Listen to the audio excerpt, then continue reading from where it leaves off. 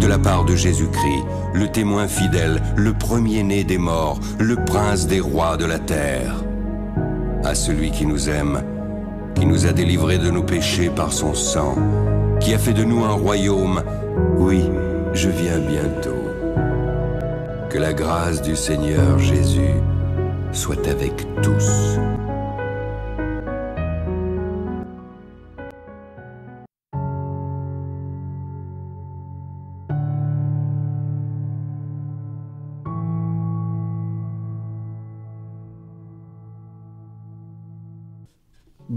À tous, j'espère que vous allez bien, moi ça va très très bien. On se retrouve aujourd'hui donc sur une nouvelle vidéo. Aujourd'hui nous allons parler donc du futur et éventuel troisième temple euh, dans tous ses détails. Je vais vous donner donc euh, les versets bibliques qui parlent de la reconstruction de ce troisième temple.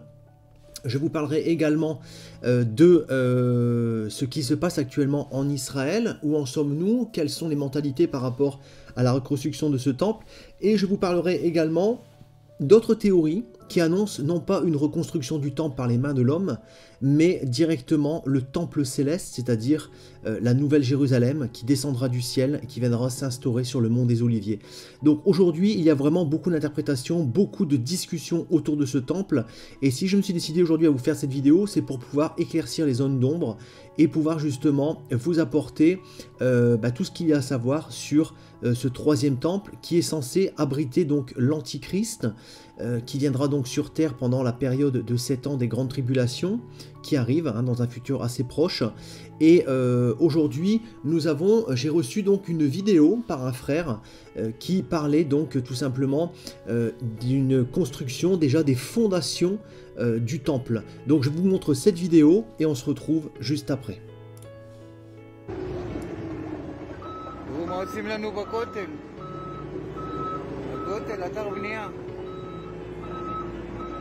מעניין מה בונים פה. בטח מנהרות, בלאגנים.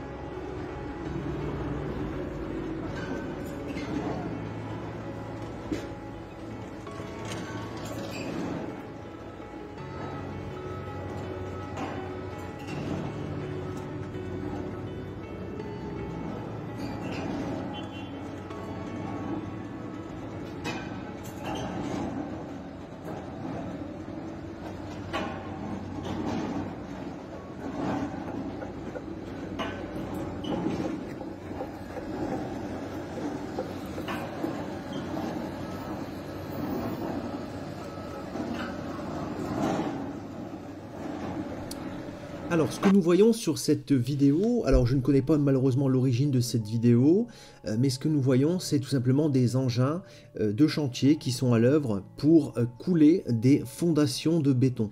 Alors, la machine qui était présente sur la vidéo est une machine en fait qui creuse une foreuse, qui creuse donc des puits qui peuvent aller jusqu'à 15, 20, 25 mètres de profondeur, même plus, hein, et ils viennent injecter du béton dans les fondations pour pouvoir consolider le terrain lorsque le terrain est fragile. Généralement, les injections de béton de ce type se font lorsque euh, le terrain doit recevoir un bâtiment d'une certaine grosseur, d'une certaine structure et d'un certain poids. Donc automatiquement, plus le bâtiment sera euh, grand et lourd, plus les fondations doivent être solides. Euh, je travaille moi-même donc dans le béton et je connais tous ces, fonctionnements de, travail. Donc on voit vraiment aussi les livraisons de camions béton toupie et aussi bien sûr les plateaux bras grus, euh, les camions qui livrent le matériel pour des futures constructions. Alors je ne sais pas bien sûr si euh, c'est le, début des fondations du troisième temple, je ne pense pas, hein, pour être tout à fait honnête avec vous, mais en tout cas aujourd'hui j'aimerais faire un rappel par rapport à cela parce qu'il y a des vidéos de ce genre qui tournent, les gens sont pressés, les les gens ont vraiment hâte que les choses s'accomplissent en cette période de la fin des temps. C'est normal, c'est une chose qui est très bien, euh, mais il faut faire attention aussi à tous ceux qui profitent justement de euh, malheureusement euh, des choses, des prophéties de la fin des temps pour annoncer ou pour montrer des vidéos qui sont fake, des vidéos qui sont ben là pour les opportunistes hein, et pour, on va dire, utiliser aussi malheureusement parfois des gens qui sont utilisés par le, le diable, par l'ennemi, afin de euh, discréditer la parole de Dieu afin de faire tomber les gens dans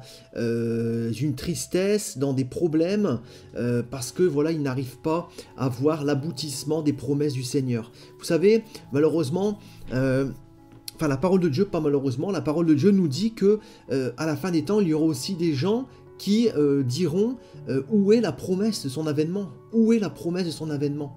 Et Jésus le savait déjà. Dieu savait déjà comment ça allait se passer à la fin des temps. Et Aujourd'hui, on a beaucoup de personnes qui pensent cela. Donc ne soyons pas découragés, laissons les choses faire. Et comme je dis toujours, euh, il ne faut pas attendre la construction d'un troisième temple pour se préparer. Parce que le troisième temple peut très bien être reconstruit après l'enlèvement de l'Église. Et qu'est-ce qui va se passer pour les gens qui attendent justement la construction de ce troisième temple? Ils risquent de passer à côté de l'enlèvement de l'Église parce qu'ils ne se seront pas préparés. Ils seront semblables donc à des vierges Donc aujourd'hui mes frères et sœurs, nous devons faire attention à ces choses et je le redis, n'attendons pas la construction d'un troisième temple. Vous savez aujourd'hui dans les, méthodes de fabrication et de construction euh, des bâtiments, euh, un temple comme le temple qui est euh, présent à l'instant donc en maquette est un temple qui peut être mis en, projet sur 6 mois, un an de temps. C'est-à-dire en quelques mois, le temps peut être complètement érigé, euh, donc il ne faut pas attendre, et ce temps peut très bien arriver à construction euh, juste après l'enlèvement de l'église. Donc attention, voilà ce que je voulais vous dire par rapport à cela. Et aujourd'hui nous allons regarder ce que la parole de Dieu nous dit par rapport justement au temple. Alors il faut savoir que déjà dans le passé, il y a eu deux temples de Jérusalem qui ont été construits. Donc il y a un premier temple qui a été construit donc par Salomon. Donc euh, à peu près donc 1000 ans avant Jésus-Christ. Euh, il a été donc détruit par l'armée babylonienne vers 587, moins 587, moins 586 avant Jésus-Christ. Donc le temple a été à peu près, euh, comment dire, visitable pendant à peu près 420 ans. Ensuite, donc le peuple juif fut euh, déporté à Babylone par le roi de Babylone, euh, Nabucodonosor, et le second temple, lui, par contre, fut reconstruit sous Cyrus, le roi de Perse, par Zorobabel, le petit-fils du roi de Judée, Joachim. Euh, il prit la tête du peuple après leur libération de Babylone. Ce second temple fut détruit donc en l'an 70 par l'armée romaine menée par Titus. Donc Jésus l'avait dit, hein, il n'y a pas une seule pierre qui restera debout de ce temple. Et 70 ans, euh, euh, donc même pas 70 ans, parce que euh, Jésus est à peu près été crucifié vers l'an 30. Donc on va dire une quarantaine d'années après sa crucifixion, le temple a été complètement ravagé et il n'est pas resté, comme Jésus l'avait annoncé, pierre sur pierre. Donc il faut savoir que voilà, tout ce que Dieu avait annoncé a été prophétisé dans sa parole, dans la Bible. Et aujourd'hui, donc, du côté euh, du euh, peuple juif, nous avons donc un institut qui s'appelle le Mont du Temple, qui a euh, pu mettre en place toutes sortes d'objets hein, qui sont censés et qui vont être remis en place dans le troisième temple. Donc on a vraiment une multitude d'objets hein, qui ont été reproduits. on a par exemple donc le chandelier à cette branche. On a donc les tenues euh, des sacrificateurs euh, qui ont été vraiment euh, refaites et brodées à l'identique. On a donc l'autel des sacrifices et tout ce qui va avec. Hein, voilà, l'encensoir, les encensoirs, la table de pour donner les pains. Enfin voilà, tout a été préparé. Tous les objets aujourd'hui sont exposés et préparés à Jérusalem, en Israël, pour être intégrés dans le mont du temple. Donc aujourd'hui, euh, si le bâtiment devait être érigé, tous les objets seraient tout de suite installés et le rituel pourrait reprendre de façon euh, très rapide. Alors, qu'est-ce que euh, la parole de Dieu nous dit aussi par rapport à cela? Alors, aussi petite parenthèse, comme vous avez pu le voir dans la vidéo sur la maquette du temple, il faut savoir que vraiment, ils ont déjà des maquettes, ils ont déjà une idée précise de ce qu'ils veulent, et aujourd'hui, comme vous le verrez dans un des petits témoignages que je vous ai mis en fin de vidéo, euh, tout le monde attend cela. Il y a vraiment un... En fait, chaque année, les Juifs euh, attendent vraiment que l'année suivante, le temple soit reconstruit. Il y a un mouvement qui est en train de se créer euh, et ça peut se faire vraiment d'un moment à l'autre. une fois que le peuple aura décidé de, la construction de ce temple, ils le demanderont auprès des gouvernements qui s'exécuteront parce que là-bas, il y a vraiment une, une foi euh, importante et automatiquement les gouvernements écoutent le peuple. Hein. vous verrez justement par rapport au témoignage que je vous apporterai euh, en fin de vidéo. Ensuite, donc, alors, par rapport aux prophéties bibliques, euh, il faut savoir qu'il y a plusieurs, comme je dis, plusieurs interprétations. Hein. On a des juifs d'un côté, on a des chrétiens de l'autre, euh, qui ont une division différente du temple. Alors les juifs pensent que le Messie reviendra après la construction du temple. Hein. donc moi, pour moi, c'est mon cas également dans le sens où euh, euh, il est possible que l'Antichrist s'assoie dans le temple comme il est indiqué dans la parole de Dieu, mais euh, il faut savoir, comme je vous disais, que l'enlèvement de l'Église peut se faire avant la construction du temple. C'est-à-dire que le Messie, quoi qu'il en soit, Jésus, dans son avènement, lorsqu'il paraîtra aux yeux de tous et que le ciel s'écartera et qu'il posera son pied sur le mont des Oliviers, le troisième temple sera déjà reconstruit. Ça, c'est une, une, réalité biblique hein, qui, est, qui, est, indiscutable. Cependant, l'enlèvement de l'Église, cet événement secret que Dieu a caché dans sa parole euh, et qu'il révèle par son esprit à ses enfants en cette période de la fin des temps, et euh, eh ben cet événement secret peut se produire bien sûr avant la construction du troisième temple. Donc il faut faire attention et de ne pas attendre, comme je vous disais, la construction de ce temple pour se préparer. Aujourd'hui, donc, euh, il y a certaines interprétations donc, eschatologiques des chrétiens qui laissent penser que le troisième temple habitera l'Antichrist, euh, qui précipitera le monde dans le chaos avant le retour de Jésus. Alors tout ça, ça fait partie aussi des prophéties euh, d'Ézéchiel qu'on va pouvoir lire juste après. C'est des choses qui sont complètement claires. L'Antichrist doit s'asseoir dans un temple et faire même arrêter les sacrifices. Hein. Donc on le voit bien, on va le voir dans les versets un petit peu plus loin.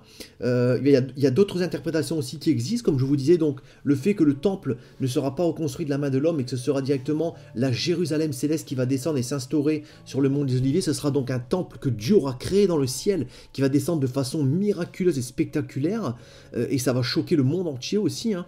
Donc euh, ça on ne sait pas, on ne sait pas comment ça va se passer. Moi je suis plus dans le sens de penser qu'il y aura un troisième temple qui va être construit. Hein, je vous donnerai justement pourquoi je, pense comme ça. Euh, et aussi euh, que justement, parce que l'Antichrist doit faire cesser les sacrifices, donc aujourd'hui il n'y a pas de sacrifices qui sont faits en Israël, donc il faut que le temple soit reconstruit, qu'il y ait des sacrifices pour qu'il puisse les arrêter.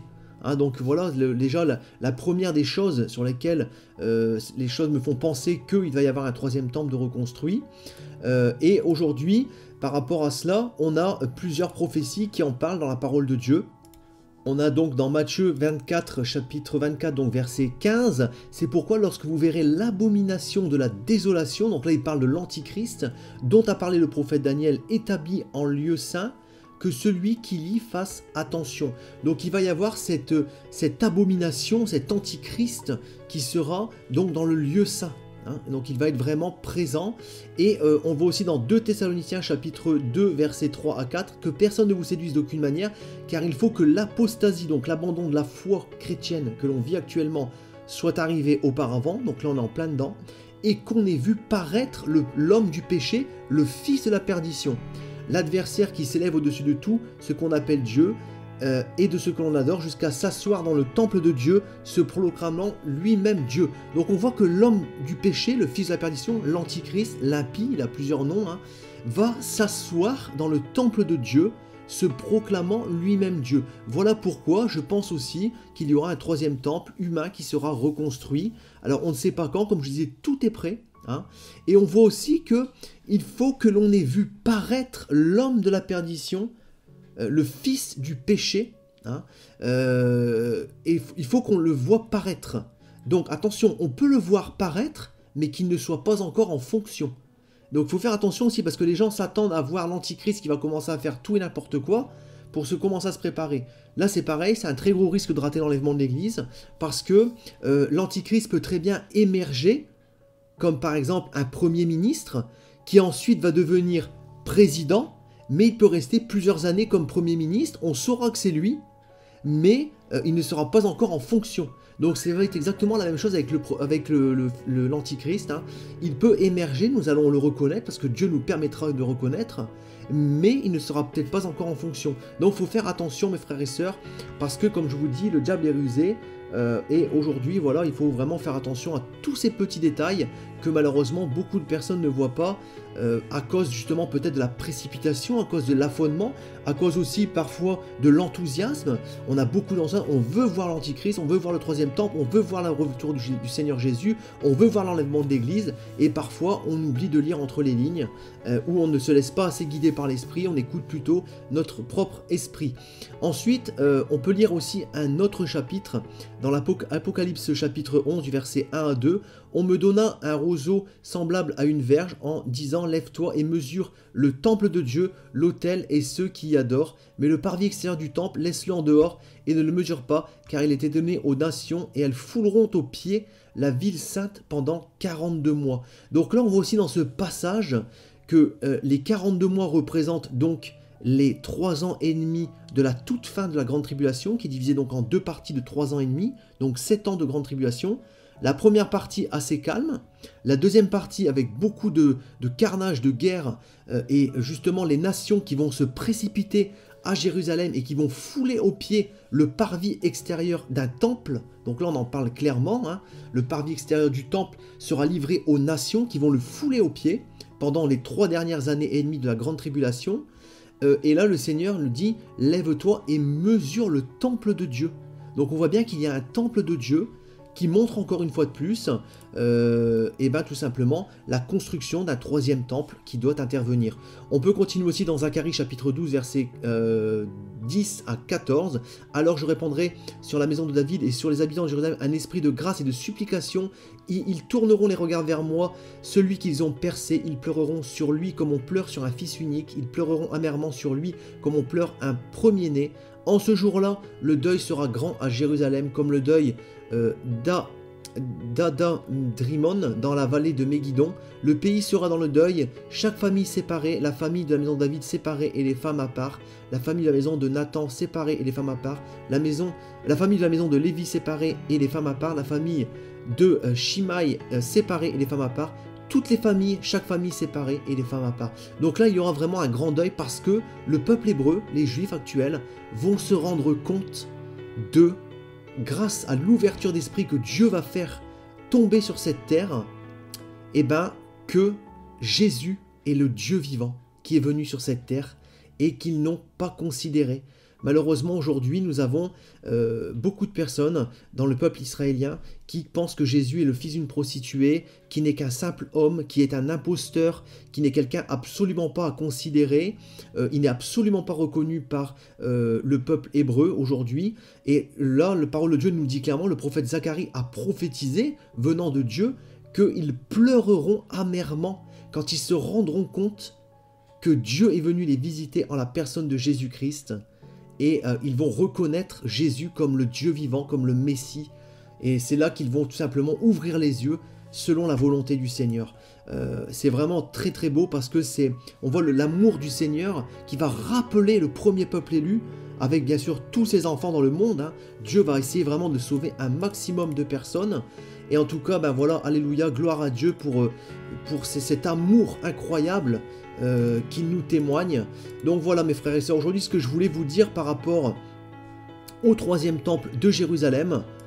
Alors aussi, nous pouvons terminer par euh, aussi une prophétie qui avait été annoncée concernant donc une génisse rouge euh, qui devait naître, annonçant donc voilà les, prophéties, l'avancement de la fin des temps. Euh, c'est un événement qui est très important attendu par le peuple juif. Et aujourd'hui, nous avons donc une vache qui est née, il y a ça déjà quelques années, qui est complètement rousse. donc là, ils sont en train vraiment de, l'étudier sous toutes les, coutures hein, pour voir justement si elle est parfaitement rousse, qu'elle doit vraiment avoir aucune tache de noir.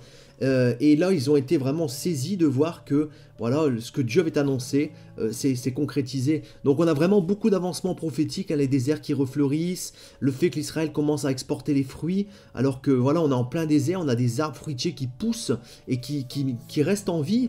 Hein. on a des, choses quand même spectaculaires, incroyables, qui sont vraiment contre nature, que Dieu permet de mettre en place afin justement de montrer l'avancement prophétique euh, au peuple juif. Et donc voilà, on a toutes ces choses.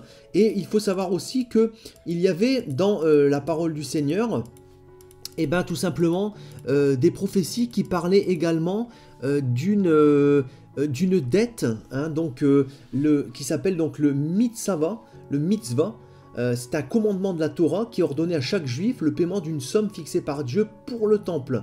Et aujourd'hui, cette somme est en train vraiment d'être discutée. hein, c'est une somme symbolique qui n'est pas énorme, mais si tout le monde donne un petit peu, on peut faire vraiment beaucoup de, de grandes choses. hein.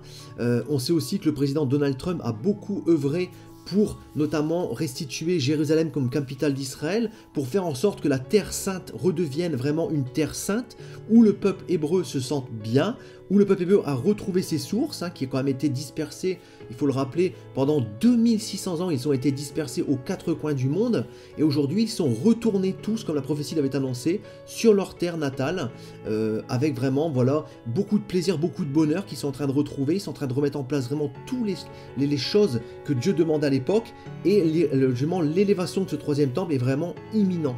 C'est vraiment quelque chose d'imminent.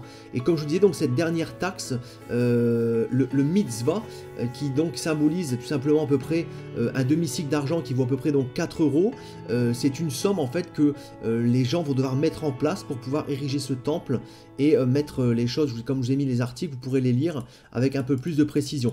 Donc voilà, ce que je voulais vous dire aujourd'hui sur ce troisième temple. Donc on voit que les choses sont vraiment imminentes, je le répète, hein, n'attendons pas la construction de ce temple pour se préparer, parce que l'enlèvement de l'église peut très bien arriver avant même que la première pierre ne soit posée. Il faut vraiment être prêt aujourd'hui. Euh, il ne faut pas attendre de voir certaines choses. Le Seigneur nous a parlé des signes de la fin des temps, l'apostasie. Les deux derniers grands signes, c'est l'apostasie et donc l'abandon de la foi. Les gens qui vont dire, bah non, le Seigneur tarde dans l'accomplissement de sa promesse, donc on abandonne, on en a marre. Voilà, l'abandon. Et aussi l'apparition de l'Antichrist. Non pas dans son règne, mais simplement l'apparition sur la scène mondiale. Donc on va le reconnaître, comme je vous disais, il peut très bien ne pas être en fonction, hein, mais en tout cas, euh, on, on doit le voir apparaître. Et c'est après cela que l'Église disparaîtra. Donc nous devons vraiment être... euh, suivre l'actualité, comme Jésus l'a dit, hein. nous devons suivre les avancements prophétiques, Euh, c'est des choses qui restent. D'ailleurs, je ferai une vidéo pour savoir un petit peu qu'est-ce qui reste dans ces avancements prophétiques. Et aussi, mes frères et sœurs, voilà, vous savez qu'aujourd'hui, le troisième temple, pour moi, euh, c'est quelque chose qui va être reconstruit par la main de l'homme. Euh, tous les objets sont prêts. C'est vraiment imminent. C'est dans un futur extrêmement proche. C'est vraiment en pourparler énormément actuellement en Israël. Je vais vous laisser justement sur ces témoignages de deux grands experts qui vivent actuellement en Israël et qui parlent de ces choses. Et euh, on se retrouve donc très bientôt pour une prochaine vidéo. Voilà, soyons préparés mes frères et sœurs. Je vous souhaite une très bonne journée. Soyez bénis et je vous dis donc à très bientôt. Les prochaines étapes, aujourd'hui, ça y est, le, pays d'Israël est construit, il s'améliore de jour en jour et c'est très bien. Quand on, depuis 2000, je ne sais pas si on est en avance ou si on est en retard, parce que ça fait 2000 ans qu'on dit l'année prochaine à Jérusalem reconstruit, mais c'est le mont du temple. Et c'est le temple de Jérusalem, le Machon Amigdash, voilà, qui, qui s'occupe de, de- de reconstruire tous les, qui a, qui a remis tous les objets qui vont être utilisés dans le troisième temple, qui ont tout refait, les habits du Kohen Gadol, les habits des, des prêtres, les, les- les- les instruments de musique, euh, l'autel, le chandelier, d'accord, le chandelier, la menorah, donc le- qui représente Un menorah qui, qui se trouve euh, en vieille la ville, table des pains, la table des pains qui représente le, le- le matériel, etc. Bref, euh, tout, tout est bon, tout est prêt en vérité. Du, du- du- du point de vue ustensile, tout est prêt pour le troisième temple. Tout- à la fin, c'est quoi ce temple? C'est la maison de Dieu, une maison de Dieu pour toutes les nations. Donc finalement, si on arrive à unir les 7 milliards d'humanité plutôt que de se faire la guerre, ממדינת ישראל שיכולה לשנות את המציאות הזאת, אנחנו, כל אחד ואחד מאיתנו יכול להשפיע על ההנהגה שלה ו- ורצוי שישפיע על ההנהגה שלה לשנות את היחס להר הבית. לשנות מהקצה לקצה, להכיר בו כמקום קדוש, לאפשר ליהודים חופש פולחן שם, לכל העמים, אבל גם ליהודים, וחופש גישה למקום הזה ולהחזיר לו את תפארתו. Quand on, quand on détaille, ça va aller tellement vite qu'on va avoir l'impression qu'il tombe d'en haut. il ne va pas tomber d'en haut construit. Ou alors, on peut dire une autre façon, il y en a qui, Ramban explique qu'il euh, est construit en haut, dans le, dans le monde d'en haut, il est déjà construit. Donc nous, on n'a plus qu'à le construire dans le monde d'en bas pour que la Shekhinah, pour que la présence divine tombe d'en haut, du haut vers le bas. C'est ça quand on dit qu'il va, il va tomber d'en haut. Mm -hmm. Donc, שמכון המקדש מגדל ברמת הגולן ובחצי שנה האחרונה נולדה שם פרה אדומה. אם היא תגיע לגיל שנתיים ויום ועדיין תהיה אדומה תמימה, כלומר שלא יהיו לה אפילו שתי שערות לא אדומות על גופה, אה, יהיה אפשר לקיים, לחדש את התהליך הזה, לחדש את ימינו כקדם, לחדש את הטהרה בישראל אה, בתהליך אה, סבוך אבל אפשרי. זה, אנחנו מרחק מאוד קצר מזה. אם מדינת ישראל הייתה יוזמת את זה בעצמה ולא משאירה את זה לגופים פרטיים לעשות את ה... Parce que c'est- le point de départ, c'est Ereskel, finalement, hein, qui, a, qui a, dans sa prophétie, avant même que le deuxième temple soit construit, a dit voilà comment sera le troisième temple en donnant toutes les mesures précises et voilà ce qu'on va y faire. Euh, les musulmans veulent le troisième temple. Je parle avec beaucoup de musulmans à Jérusalem qui, qui attendent qu'une chose, qu'une seule chose, c'est de sortir des synagogues, des mosquées, des églises, y compris qu'il y ait un lieu de prière pour tous ensemble. Donc, Incroyable. Ouais. Vraiment, c'est. Ouais, c'est- et, et- et- et- et- et des, des- des musulmans qui veulent, bah, qui, qui veulent un, un- un lieu commun. Ils vivent en Israël, ils sont contents de vivre dans l'État juif et, euh, ils, sont- ils sont- on sait- ils savent très bien qu'on prie le même Dieu. Bon, alors, Les politiques suivent le peuple. Si le peuple veut, les politiques suivent. est-ce que vous pensez que la route va être longue? Eh ben, on va essayer de la raccourcir. Tout pouvoir m'a été donné dans le ciel et sur la terre. Il y a plusieurs demeures dans la maison de mon Père. Si cela n'était pas, je vous l'aurais dit. Je vais vous préparer une place. Et lorsque je m'en serai allé et que je vous aurai préparé une place, je reviendrai et je vous prendrai avec moi, afin que là où je suis, vous y soyez aussi. Vous savez où je vais, et vous en savez le chemin. Je suis le chemin, la vérité et la vie. Nul ne vient au Père que par moi. Abraham, votre Père, a tressailli de joie de ce qu'il verrait mon jour. Il l'a vu, et il s'est réjoui. Si vous me connaissiez, vous connaîtriez aussi mon Père, et dès maintenant vous le connaissez, et vous l'avez vu. Et je vous le dis, avant qu'Abraham fût, je suis. Seigneur, montre-nous le Père, et cela nous suffit. Jésus lui dit, Il y a si longtemps que je suis avec vous, et tu ne m'as pas connu, Philippe. Celui qui m'a vu a vu le Père. Comment dis-tu, montre-nous le Père? Cette bonne nouvelle du royaume sera prêchée dans le monde entier pour servir de témoignage à toutes les nations.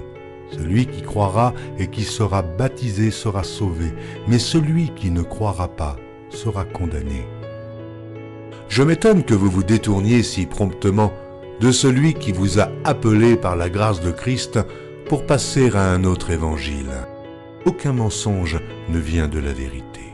Sinon celui qui nie que Jésus est le Christ, celui-là est l'antéchrist, qui nie le Père et le Fils. Quiconque nie le Fils n'a point non plus le Père. Quand un ange du ciel annoncerait un autre évangile que celui que nous vous avons prêché, qu'il soit anathème. Moi, Jésus, j'ai envoyé mon ange pour vous attester ces choses. Je le déclare à quiconque entend les paroles de la prophétie de ce livre.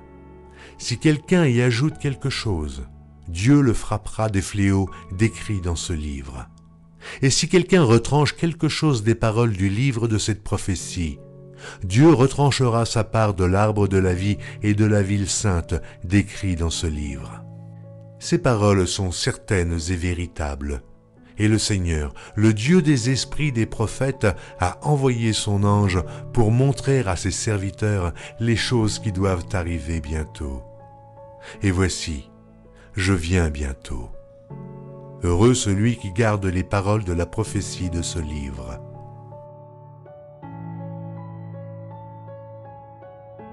Voici, il vient avec les nuées, et tout œil le verra, même ceux qui l'ont percé.